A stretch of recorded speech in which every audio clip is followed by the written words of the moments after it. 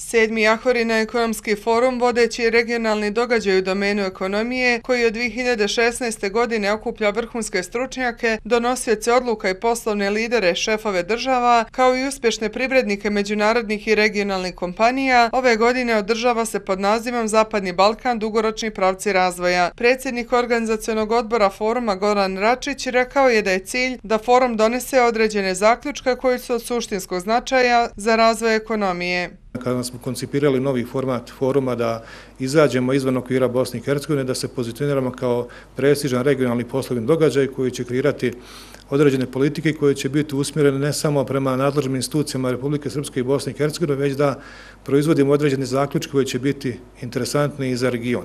Upravo na tu temu ćemo danas, sutra i preko sutra razgovarati o jedinstvenom regionalnom tržištu, pretpostavkama za razvoj jedinstvenog regionalnog tržišta.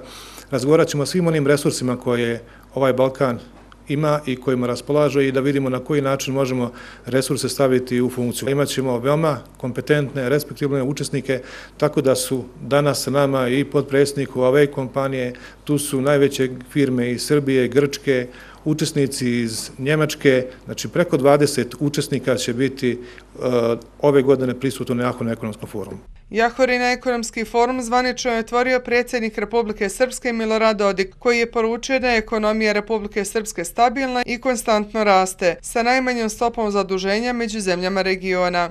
Republika Srpska je kreirala nova radna mjesta, samo od nove godine do danas preko 5000 novih radnih mjesta. Republika Srpska, dakle, e, ima povećano povećanu apsolutni iznos domaćeg proizvoda sa 16 milijardi koji je bio 23. sada već u ove godine možemo sa sigurnošću reći da će biti 19 milijardi, a, a ovi, par, ovi pe, prvi pet mjeseci, odnosno četiri prva mjeseca, ostvarili smo rast o nominalnom iznosu od 2 milijarde. Danas moramo da odgovorimo na nove izazove koje će imati priroda i društvo, imajući u vidu da je čitava ekonomija globalnog svijeta zarobljenog globalnim političkim pitanjima i globalnim geostrateškim pitanjima koji se odvijaju u procesima između velikih zemalja.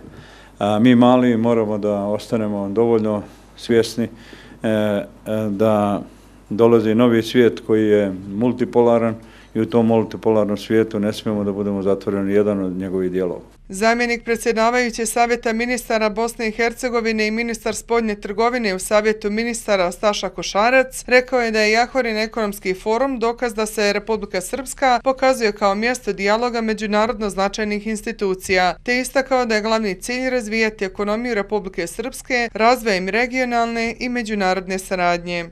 Ono što je značajno važno reći da se želi kroz otvoren dialog sa privrednicima iz regiona definisati neke nove politike koje će strukture vlasti definitivno kako na nivou Srpske federacije, tako i na nivou Bosne i Hercegovine artikulisati kroz svoje dokumente i tražiti implementaciju partnerstva sa poslovnom zajednicom.